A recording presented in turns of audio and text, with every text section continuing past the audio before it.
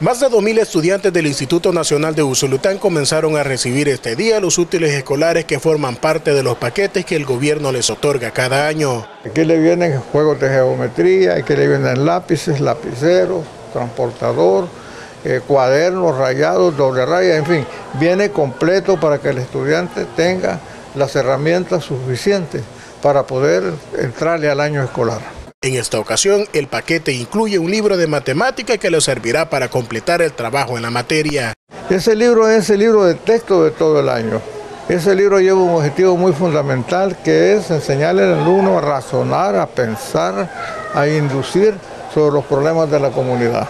Los paquetes escolares significan un ahorro para los estudiantes, pues se les garantiza todo lo necesario para que puedan recibir sus clases de manera igualitaria. Ya dimos inicio a lo que son las jornadas y tanto es necesario tener cada uno de nuestros cuadernos, nuestros útiles, porque todo eso es muy necesario para nuestro desenvolvimiento en el año escolar. Es un gasto menos para que nuestras madres los tienen que dar, ya que hay unas de que son de escasos recursos, no ajustan a comprar lo que es los útiles escolares y la y los zapatos y ya sea el uniforme también, entonces ya es una gran ayuda que lo dan a nosotros como estudiantes.